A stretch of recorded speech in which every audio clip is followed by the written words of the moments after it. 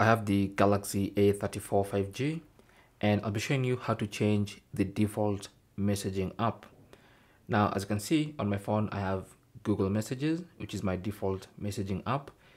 If you want to have Samsung Messages, for instance, or maybe you have Samsung Messages as your default and you want Google Messages, then here's what to do. Go to settings.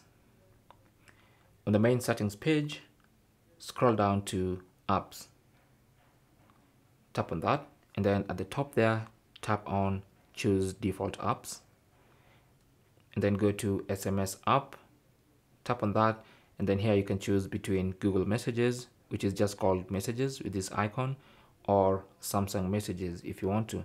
So to choose Samsung messages just select Samsung messages and it's going to become Samsung messages as your default messaging application okay?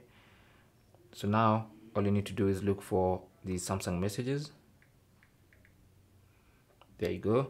And you can add it either to the home screen or to the app screen in a convenient location okay?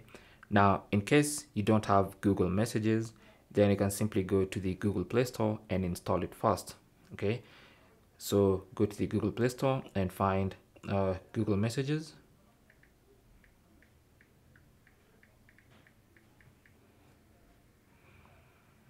and you should find the app by Google LLC. So go ahead and install it and then you can go through the process of setting it as your default messaging service. Thanks for watching. Leave your comments and questions down below and good luck.